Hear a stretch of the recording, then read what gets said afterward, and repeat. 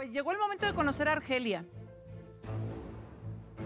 Es la nueva pareja de Miguel, quien además ya administra el negocio familiar, ya vive en la casa donde antes eh, vivía Estefan y los niños y ya eh, pues prácticamente hasta órdenes le da al hijo mayor de Stephanie y de Miguel. Inclusive yo sé que hasta de nano lo deja eh, cuidando ahí a los niños pequeños para, pues para distraerse con Miguel, porque pues ella necesita también distracción. Adelante con Argelia. Agradezco mucho la ayuda que me dio Stephanie en su momento, pero ella tiene que aceptar que su matrimonio ya estaba muerto.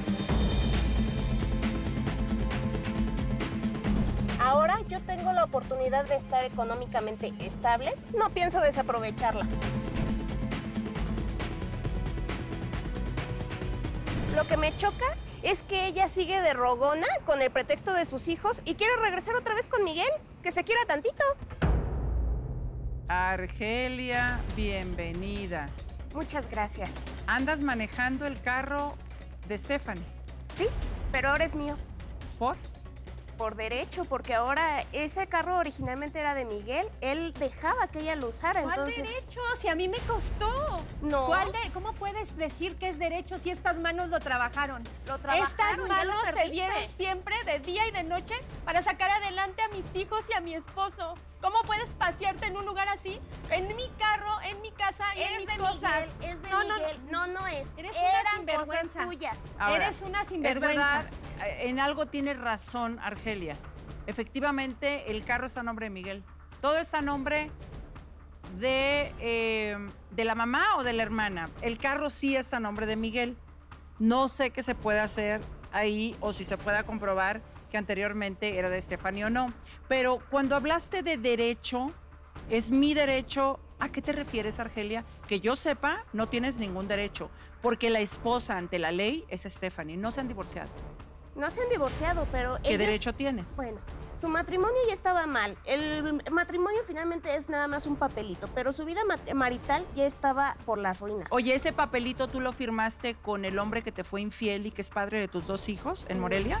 No, No, no, no firmaste ningún papelito. no, no firmé ninguno. O sea, no te importa el matrimonio. No, Pero sí te importa eh, lo que te hicieron en su momento, porque te fueron infiel, te golpearon y tú saliste corriendo de Morelia. Fue cuando Stephanie te cobijó y te dio la mano. No solamente a ti, a tus hijos también, te dio un empleo, etcétera. ¿Cierto o no? Malagradecida. Ay, eso Así fue una es. Por eso favor. fue una ¿Sí o no ocurrió así? Pero no, bueno, pero es que eso es diferente porque ¿Por qué es diferente? ¿Porque es tuyo? porque el papá de mis hijos Ajá. me puso el cuerno con un hombre. Entonces yo dije, no, Con qué razón. vergüenza. ¿Qué podemos esperar ahora? Y Una mujer despechada, ¿qué es lo que veniste a hacer a mi negocio? ¿Qué es lo que hacer con mi y hacer mi vida por a mí no me no grites, hacer un ¿eh? drama no me grites porque tú te pasaste de listo. A ver. Stephanie, digo, Argelia, el señor está casado. ¿A ti te vale? O sea, él tiene cuatro hijos, a los cuales ha desprotegido por darte un lugar a ti y además proteger a los hijos que tuviste con ese hombre. ¿Por qué haces eso, Argelia? Eres una mujer, eres madre y además ya viviste una infidelidad. ¿Por qué vas a pagar con la misma moneda a alguien que te ayudó? La vida es de los vivos. Yo no quiero volver a regresar a tener vivos carencias. y los que no ayudamos, volver ¿dónde a tener quedamos? Los ninguna que te frase. para todo, ¿dónde escribirla en un libro A y ver, aprender dímelo. de ella. ¿Dónde está todo lo que te di? ¿Dónde está tu gratitud? No que siempre No ibas a estar con nosotros. Ay, no supe cuidar, no te entregué todo. Él me Te di todo lo que yo tenía. Todo Sí, te y entregué. te di las gracias ¿Y en su momento. ¿Y así lo dices de cínica? ¿Qué más ¿Así te puedes decir? ¿Cómo es posible que seas tan cruel? ¿En serio eres una mujer tan despiadada? ¿Un ¿No te da día? vergüenza? ¿Un solo ¿No día? te da vergüenza acostarte en el mismo colchón donde yo me acostaba con mi esposo? La casa yo la decoré a mi gusto. A mi gusto. ¿Por qué haces eso? ¿Por qué ocupas lo que era mío? ¿No te da vergüenza? Y aún así te empeñas en seguir molestando. Ay, si ¿Cómo eso es es lo que te molesta todo el dinero que Miguel no les ha dado ni a ti ni a tus hijos, yo lo utilicé para redecorar y para cambiar. Entonces de No. eso no te preocupes. Eres ¿eh? una sinvergüenza, en serio. Ahí se ve que es lo único que quieres. ¿Quieres en verdad a Miguel? Claro Lo que que- sí. claro que no, por favor. Lo único que quieres, mira Obvio lo que te que voy está a dando. querer a alguien que ¿eh? me tiene bien, que me Qué tiene como vergüenza. reina. ¿Cómo ¿Y lo los que quieres? te ayudamos? Lo quiero a mi lado, no quiero No, no, tener- no, ¿cómo lo quiero? To- lo- como mascota. Aquí. Shh, Eso es lo que eres. ¿Eh? Eres una... no. Quieto. No, Lo quieres, no, lo quiero como mi hombre. pero no es tu hombre. Sí. No, ante la ley ese hombre. Pero en la Es cama es mi hombre y eso es lo que más cuenta en este O sea, en la cama no tienes dignidad.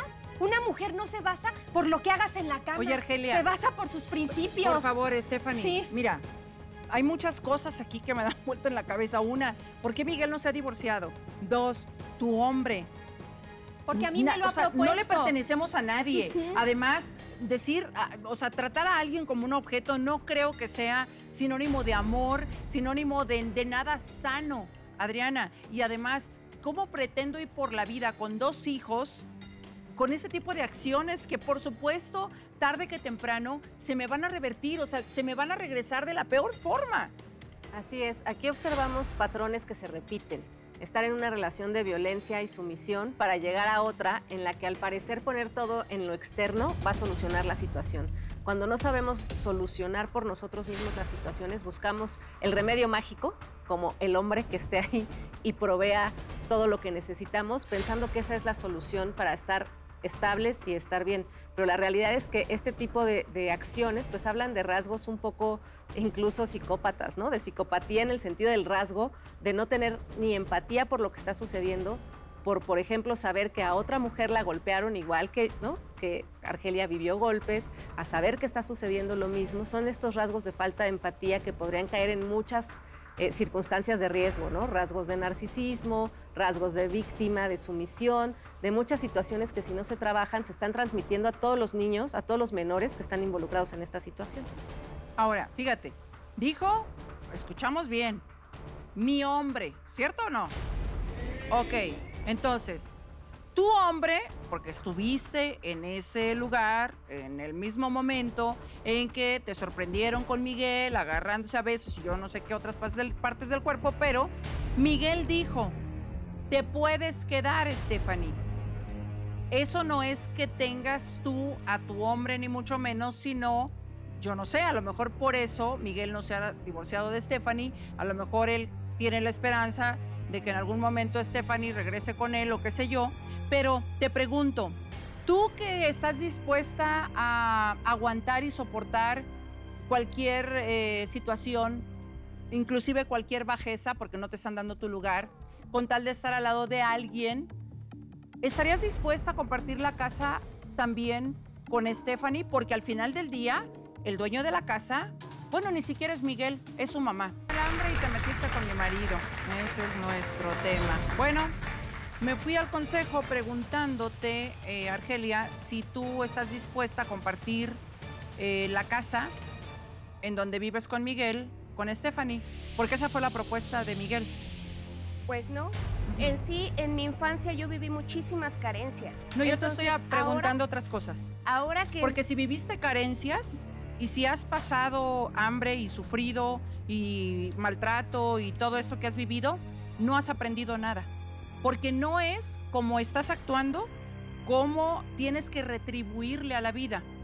Si te ha gustado lo que has vivido, entonces sí, síguele así. Pero si no te ha gustado y si ha sido injusta la vida contigo, compórtate de otra forma, haciéndole daño a los demás, destruyendo un matrimonio y una familia, no es como se llega al éxito. Créeme que no.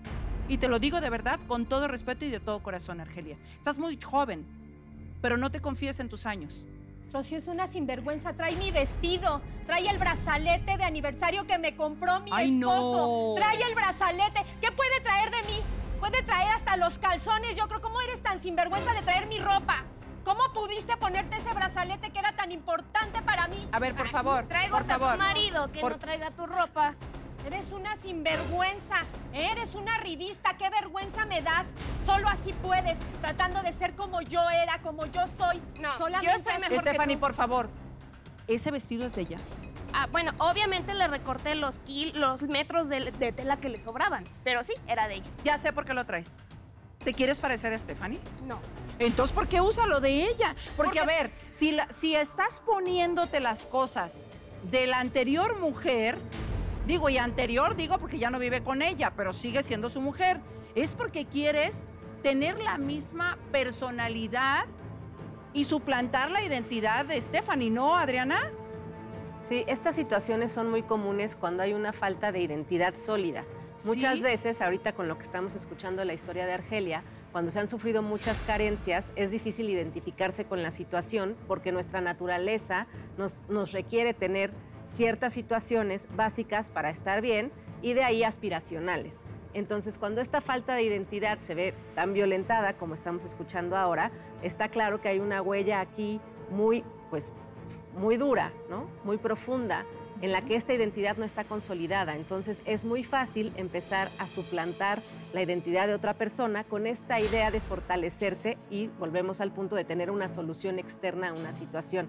Pero esto es una fantasía, en Sí. realidad, que puede servir como defensa de primer momento, pero que evidentemente con los patrones y con todo lo que estamos observando en esta historia, pues pueden llevar a un riesgo mucho mayor.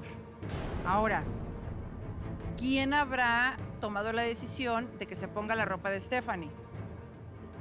¿Argelia o Miguel? Aquí habría que ver también cómo se está manejando esta situación, porque al final, hablando de esta fantasía que nos construimos, también la postura de Miguel, hasta donde conocemos, pues tiene como estos tintes eh, de fantasía en querer tener pues una relación abierta en la que al final él solo está decidiendo cuando sí tiene un matrimonio, ¿no? Si bien Claro. hay parejas que se constituyen de diferentes formas, la realidad legal y de compromiso de vida que llevaba en su estilo de vida previo, pues no era este. Claro. Entonces ahí también habría que, que ver cómo se está manejando esta cuestión de los roles y de la identidad en una pareja y la parte individual.